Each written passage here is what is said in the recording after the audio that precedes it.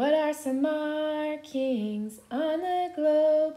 Latitude, longitude, prime meridian, degrees, northern hemisphere, southern hemisphere. These are some markings on the globe.